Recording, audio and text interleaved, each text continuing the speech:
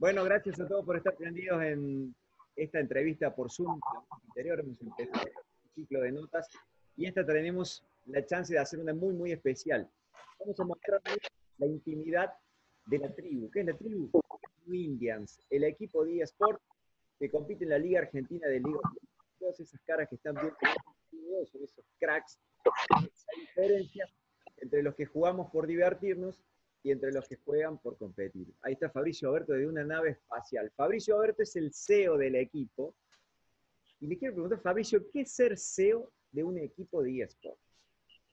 Bueno, bueno, primero gracias. Eh, realmente todos los días es eh, estar eh, viendo, más allá de que el primer año creo que el split número uno fue, fue increíble todo el aprendizaje y hemos mejorado muchísimo, ¿no? Todo lo que es el staff, todo lo que es los players.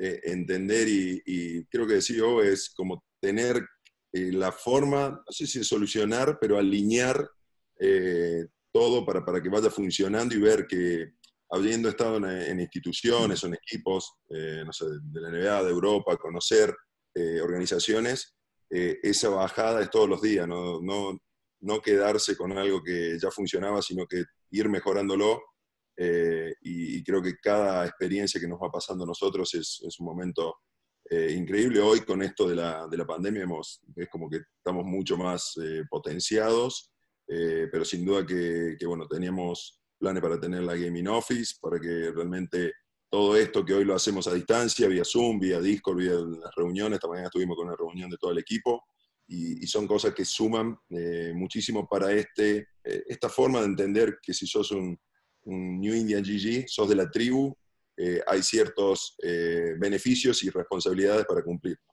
¿Qué es New Indians eh, y qué mística tiene el equipo?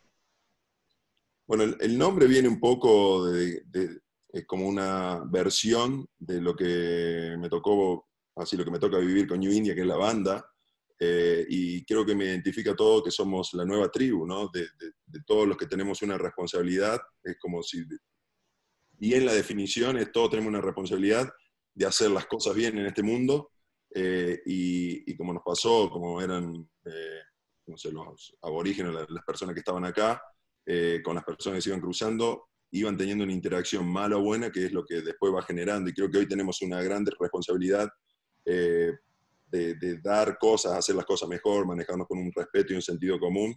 Y de ahí vienen un poco ser los nuevos indios de este mundo.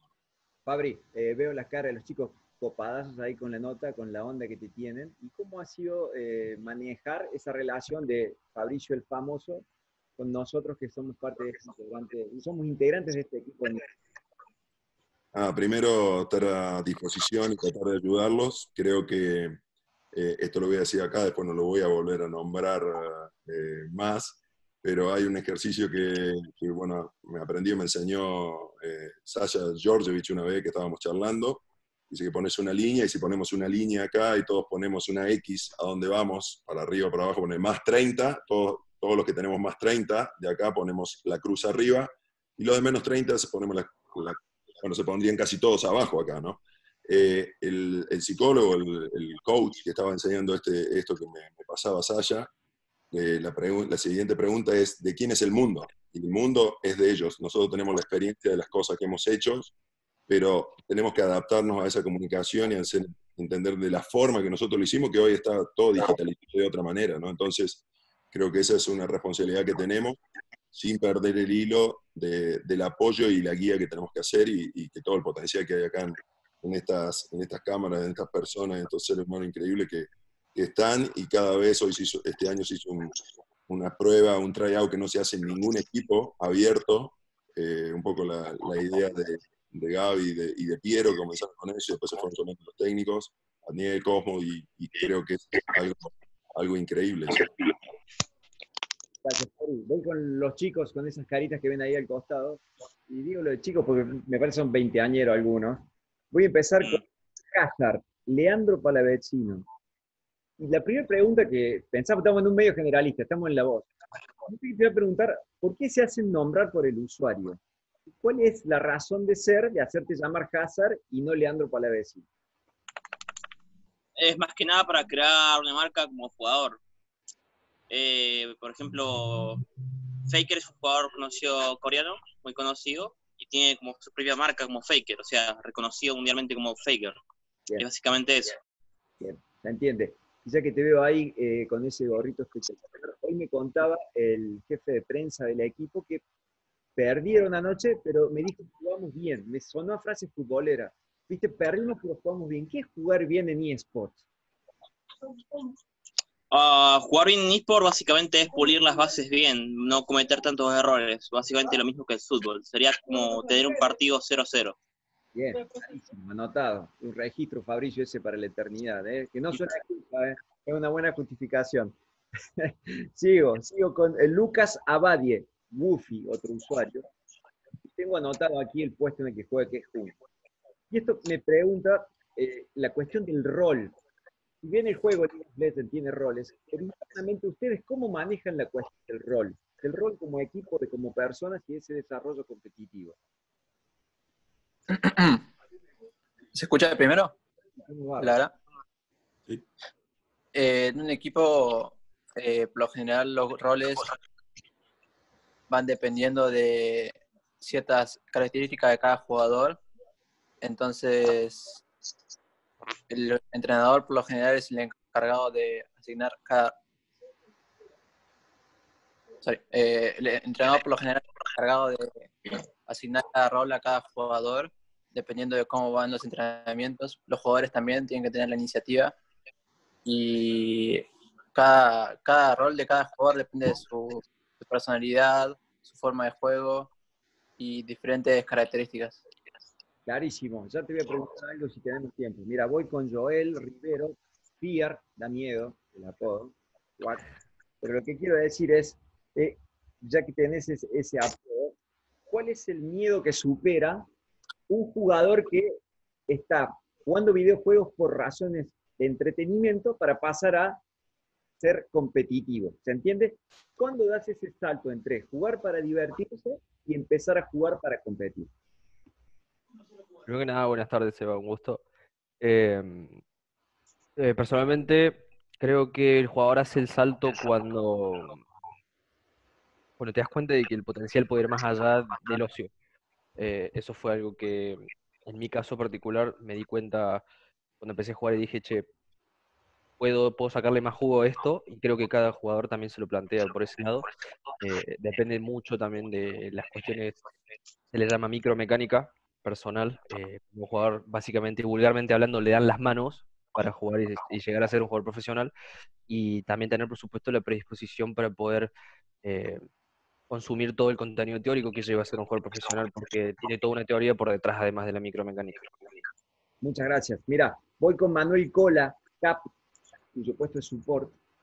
support. Hola, hola, ¿cómo andás? Bien, gracias. Gracias por estar presente. y te quiero preguntar una cosa. Cuando uno ve una competencia de eSport, los ve con auriculares muy lindos. Unos teclados muy lindos, muy coloridos. ¿Cuál es la diferencia o el insumo que necesita un jugador de eSports desde lo técnico? A ver, si uno tiene una PC en su casa, tiene un teclado más o menos, tiene un mouse más o menos, tiene un auricular más o menos. ¿Cuál es el salto de calidad técnico que necesita un competidor desde esas bases, eh, desde estos insumos? Bueno, primero que todo, este, no vamos a comparar la calidad que tienen los teclados mecánicos con teclados que son más eh, generales, ¿no? Que puede tener cualquier un, cualquiera en, su casa. Creo que eso es, muy importante. El tema también de la logística que tiene atrás este, cada marca, como puede ser, yo sé, Logitech, eh, Razer, bueno, HyperX, que cada uno tiene como su marca definida y tiene como su, su calidad específica, ¿no? Para cada uno de sus componentes.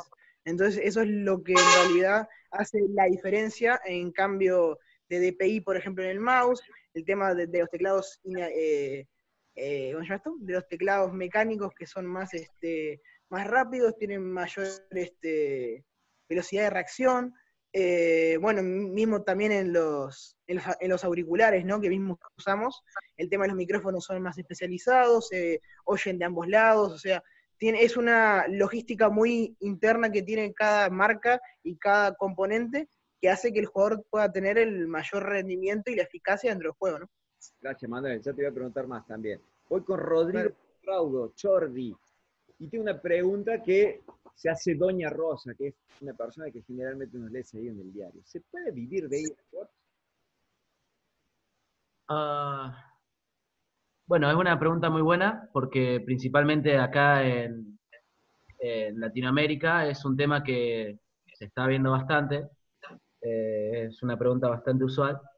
Y yo creo que depende mucho de dónde te metes a jugar, eh, en qué organización, digamos, eh, tu nivel de juego, porque, bueno, lógicamente no es lo mismo una, un nivel de jugador que otro. Y sí, creo que esas son, porque hay muchas organizaciones que te aportan, eh, aparte de lo que, bueno, viene a ser el dinero, todas esas cosas, eh, otras herramientas, como por ejemplo eh, sesiones psicológicas, apoyo, sesiones físicas. Entonces no es solamente esa parte, sino es todo lo que rodea al ámbito, digamos. y hoy en día yo creo que sí, eh, pero como te digo, depende de cada jugador y depende de cada organización. No para todos es lo mismo. Voy con Piero Graziani, el coach y un apodazo notorio Piero. Buen día, muchas gracias. Igualmente. ¿Qué coach y qué tareas conlleva? Eh, bien, eh, es una pregunta que me estuve haciendo mucho, me estuve, estuve aprendiendo un montón.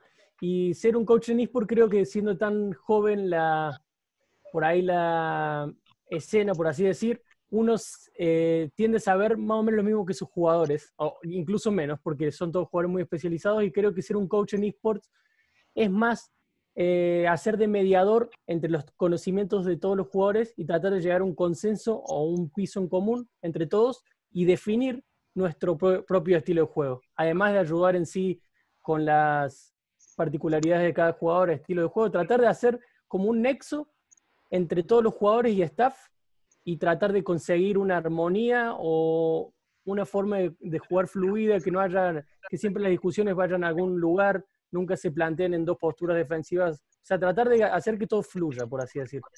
Claro, quiero, te me meto para una respuesta cortita, en deportes eh, habituales, es de que es coach retirado en este caso, por lo que veo, un retirado. Puede ser coach alguien que también esté jugando en otro, en otro momento de una operación de una competencia, por ejemplo. Eh, generalmente es así. Eh, generalmente los jugadores pasan de ser jugadores a ser coach, más que nada porque cuentan con estos conocimientos y cuentan además con, con, o sea, al estar compitiendo sabes lo que necesita saber un jugador, sabes las cosas en las que se interesa. Entonces, al igual que en los deportes tradicionales, esto sirve en los esports generalmente eh, cuando uno ya va bajando el nivel, pasa a ser coach y, yo no conozco muchos casos que vuelvan a ser jugadores. Eh, si esa era tu pregunta. O sea, generalmente se pasa coach y se es coach. Yo puntualmente jugaba también, pero no era tan bueno como todos los, como todos los pibes acá, pero, pero bueno, así que me pasé a coach. Dale, bueno, entonces, si te hiciste así de coach, me muero por preguntarle al asistente del coach, Gabriel Arias, cómo te transformas en una coach. ¿Es más o menos la misma historia? Eh, bueno, en este caso, hola, buenas tardes.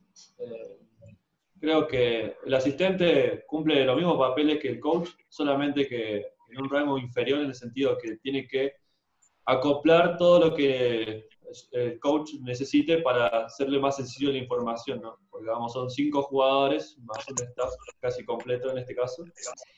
Entonces hay que hacer que la información sea reducida y simple para que tenga una fácil deducción, para que el coach tome las decisiones rápidas en momentos críticos. Clarísimo, trabajo de complemento espectacular. Bueno, voy sumando más gente. Otro que viene con rótulo de coach, que es Agustín Vilala, decime si lo pronuncié bien el nombre. Agus. Perfecto. Perfecto, que estás a cargo de la New Indians Academy. ¿Qué es la New Indians Academy?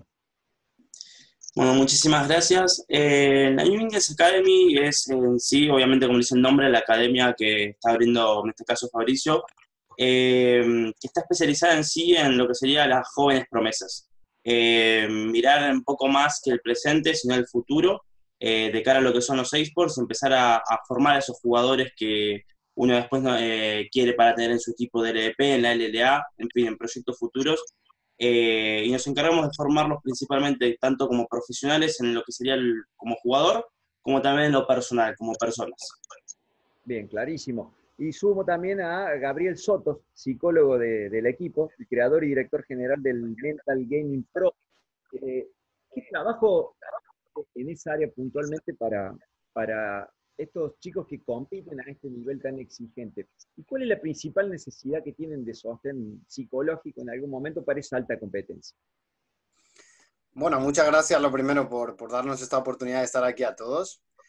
Eh, no, bueno, básicamente depende también un poco del equipo en el que tú estás. Primero debes realizar una fase diagnóstica como en prácticamente cualquier eh, lugar al que va un psicólogo. Lo primero es diagnosticar qué, qué ocurre al equipo y sobre todo ir muy, muy ligado a lo que el coach, en este caso Piero, quiere del equipo también.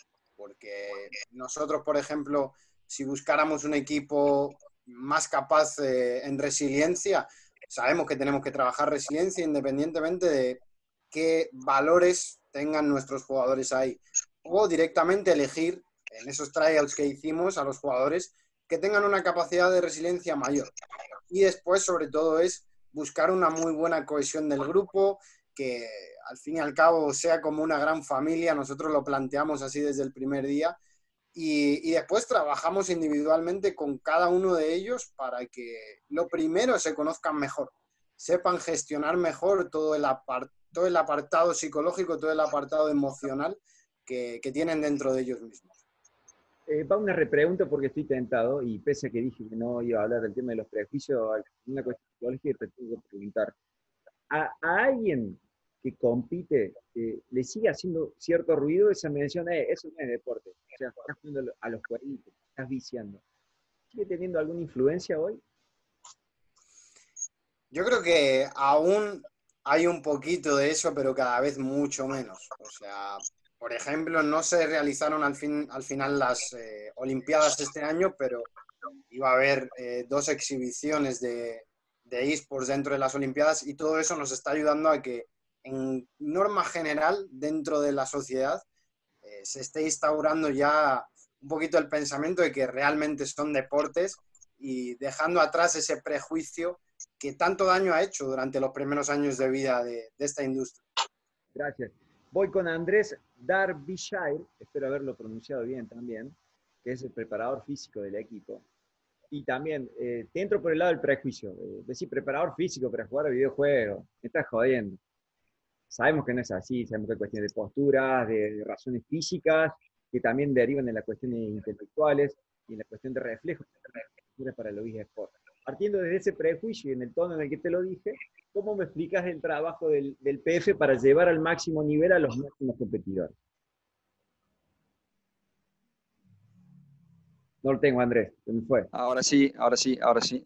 Buenas tardes, estaba muteado. Eh, en principio, eh, una gran responsabilidad, la de ser preparador físico de un equipo de esports. Eh, partamos de, una base, y esto para, combatir un poco ese prejuicio del que vos hablas. ningún deporte tradicional, y, creo que también podemos encapsular a los, a los esports dentro de esto, puede ser relacionado directamente con la salud seguido con la salud física, ¿está? Todos los deportes tienen determinados eh, tipos de riesgos de lesión.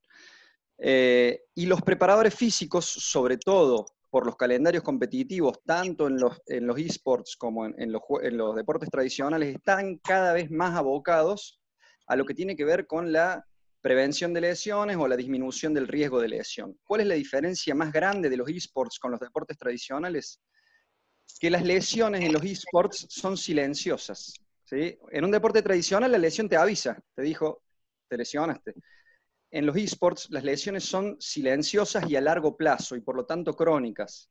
Por ende, ese es el gran desafío. ¿sí? Entonces, lo que, eh, las, mis dos responsabilidades para con los chicos serían, desde una perspectiva de la salud, eh, vos imaginate que en un partido de League of Legends eh, ponen el corazón a 160 pulsaciones por minuto y el corazón está diseñado para llegar a esa intensidad mediante el movimiento y ellos lo hacen mediante la quietud. Entonces, eh, eso llevado a una determinada cantidad de horas y de años de juego puede incurrir en un tipo de lesión para un jugador, ¿sí? Entonces, tenemos que trabajar mucho sobre eso, tenemos que trabajar mucho sobre la postura. Y en relación al rendimiento, eh, hoy te diría que la mayoría de los deportes, incluso tradicionales, ¿sí? incluso los deportes tradicionales, están trabajando hoy el rendimiento desde lo físico, partiendo desde la psicología ecológica, de la perspectiva ecológica, en donde toda acción depende de la percepción. Y la percepción, la herramienta más fuerte de la percepción en, el ser humano hoy es el ojo. Entonces, ellos eh, actúan en función de lo que ven, al igual que un deportista. Entonces, el rendimiento también se entrena y se entrena por ahí. O sea que eh, después de haberte dicho todo esto, no le encuentro la diferencia y no, eh, estoy de acuerdo con el, con el prejuicio que sí sé que tienen. Y creo que para acompañar un poco eso, eh, el hecho de que tipos que han destruido cualquier nivel de deporte tradicional, como son Fabricio, que estén metidos en esto, bueno, eso tiene, tiene, habla por sí solo, ¿no? Clarísimo, clarísimo. Mirá, me quedan exactamente cinco minutos y le quiero hacer una pregunta a todos para respuesta brevísima. empezando por vos, Fabri. ¿Qué es lo más copado y lo menos copado que tiene el mundo de los eSports? Para respuesta lacónica, por favor.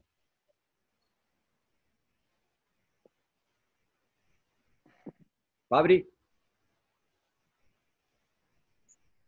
Ahora sí. Eh, no, digo, no veo, lo veo muy copado toda la innovación y todo lo, que hay atrás. Eh, juego a nivel eh, muy aficionado, muy aficionado, y cada vez que simplemente tratar de llegar a rankear en LOL, que es casi imposible para mí, eh, cuando entro a la charla estoy viendo la estrategia que manejan y las comunicaciones, increíble.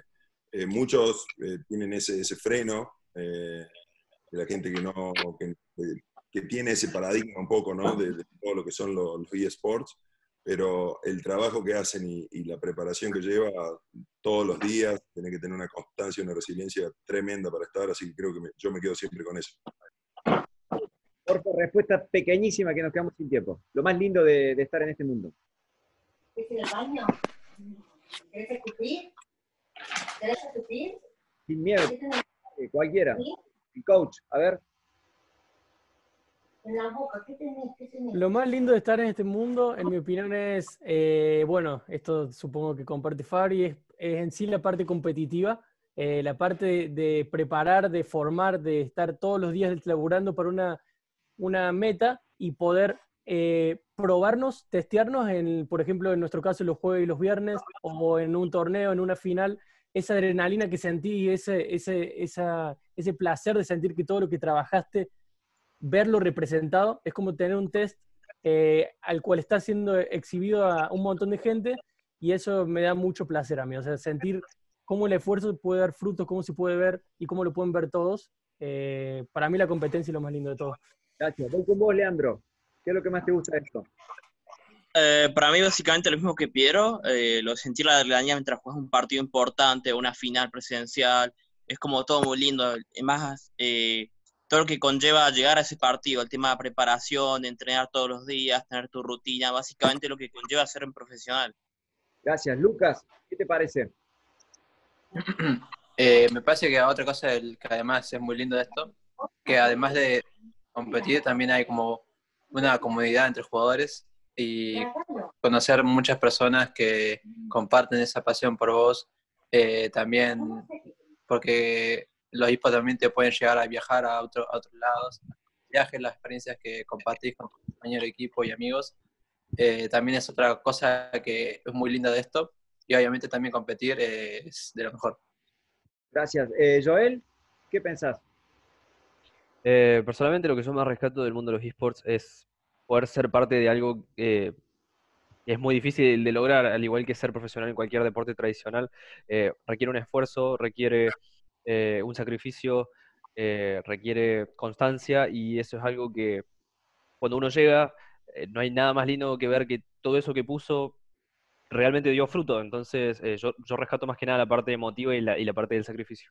Bueno, mira, me olvidé de Elías y me están avisando acá los chicos, mil pelado esto, soy horrible. Miren, acá tengo todos los nombres. Elías, por favor. Esa es la pregunta más simple de todas. Buenas tardes. ¿Quién es New Indians? A ver, pero decime la verdad. A ver, ¿quién es el pícaro? ¿Quién es el que te sabe? ¿Quién es el jodón? Decime la verdad. Escráchalos a todos que este video sale en YouTube. No lo va a ver nadie. No, no te preocupes. Al todo tuyo. El usuario es, así lo siguen Elías Slack. Eh, supuestamente. Y Elías, por favor, te dejé para el final. Casi que hubiera guionado este error para que disfrutes de descansar a todos tus compañeritos de New England. Y nada, ahí van todos más o menos. Eh, pero tengo un par ahí que están medios, medio confirmaditos. Dale. No, bueno, más allá de la eh, como le pregunto, ¿cuál es la de New England? ¿Qué, es el perfil que tiene el equipo y lo que vos vas viendo con, con esa relación que vas creando con tus compañeros? Bueno. Bueno. No, no te, no te- Elías, no, Bueno. decía la, la, la mística que vos al equipo. ¿Cómo, ¿Cómo vas viviendo esa mística y ese formar parte de England? ¿Cómo te sentís adentro, Elías? Y la verdad, es, como es algo muy nuevo para mí, eh, yo empecé hace poco, eh, me siento muy bien, eh, los me ayudan muchísimo. Eh, creo que todo- todos los días eh, puedo aprender algo de, de todo y de estar tiene mucho. Eh, y, y nada, más que todo eso. Te puse una para el final ahí para, para cerrar esto. Bueno, y, y me faltó preguntar eh, a Rodrigo también la sensación de formar parte de, de los eSports y qué es atractivo de, de este mundo, ¿sí? de este mundo de los videojuegos, de este mundo como se dice actualmente. Eh, bueno, es, o sea, lo, lo más lindo de todo esto es el poder eh, todo el tiempo mejorar, competir, eh, intentar demostrar lo que uno sabe. Eh, un poco lo que dijeron también los demás, eh, sentir que el momento cuando estás jugando, las oportunidades que te dan, digamos, es algo muy, muy lindo. Y, y sí, eso es lo, lo- mejor de que tiene esto. El hecho de, sentir el, el momento cuando estás jugando, mejorar, competir, prepararte, todo. Gabriel, tu visión. Y Gabriel Arias, ¿sí? Después voy con el otro Gabriel. Eh, yo creo que lo más, la visión de esto, lo más emotivo es la comunidad que hay detrás de, de cada equipo. La unión que hay es como una, una segunda familia que se tiene, más que nada. Y uh, creo que es lo más importante a la hora ¿no? de competir. Clarísimo. Voy con Agustín. Agustín, eh, desde tu función, desde la Academy, desde ver el, ese desarrollo de los jugadores, de los competidores, ¿qué es lo más bonito de eso? Yo creo que lo más bonito es ver que yo siempre me cuento que lo que uno hace en realidad es intentar cumplir el sueño de los demás, porque eh, los chicos sueñan con ser jugadores profesionales y ver que uno de ellos llegó es lo más lindo, porque significa que hiciste las cosas bien y tenés, eh, confirmás que tenés que seguir por ese camino. Bien. Voy con el otro Gaby, con Sotos, que me faltaba. Básicamente yo tengo un par de años ya de experiencia dentro de, los esports y al fin y al cabo es, es la comunidad también, ¿no? Y, lo que decía un poco mi, mi amigo ya Cosmo también con el poco tiempo que llevamos aquí, que esto es una familia al fin y al cabo. Y aquí sabemos todos que si nos pasa algo, podemos apoyarnos en cualquiera de las personas que tenemos aquí. Independientemente de que yo sea el psicólogo y me puedan hablar para X temas, pero yo también me puedo apoyar en ellos y eso, y eso es muy importante al fin y al cabo. Entonces, creo que lo que estamos construyendo aquí es espectacular. Gracias. Voy con el profe Andrés. Me falta su opinión, profe. Muteado de vuelta, Andrés. Again, muteado. Eh, me llama muchísimo la atención el conocimiento del juego que tienen los mismos jugadores, eh, que la verdad que eso por ahí no se ve tanto en los deportes tradicionales, es impresionante. Y, y sin dudas que esto de, de- que, que todo, a lo que todos hacen referencia, que es a la, a la- la comunidad de los gamers, eh, la verdad que es algo que impresiona. Clarísimo. Me queda un minuto, Fabricio. La pregunta es, ¿está New Indians para campeón? Siempre queremos eso. No hay, siempre. El año pasado, este año más que nunca y sin duda que sabemos el trabajo. Creo que estamos hoy en el, en el camino de, con las personas eh, que están para, para, empujar y para hacer crecer este, este tremendo equipo, así que estamos, estamos muy confiados. Gracias a todos. Esto se va a publicar en La Voz del Interior, se va a ver en YouTube, va a salir en la edición impresa, va a salir en la edición digital de Mute. Le agradezco por la onda. Eh, nos encanta contar de eSport. Tiene un montón de gente que lo sigue, que los va. El mundo es un hincha de New England. Eh, nos encantaría cronicar esa, esa, historia del equipo campeón o donde sea que lleguen, nosotros vamos a estar ahí acompañándolos. Gracias por el tiempo. Muchas gracias, Eva. Muchas gracias a vos también. Gracias a vos, Eva. Gracias, día. Bye, bye. bye.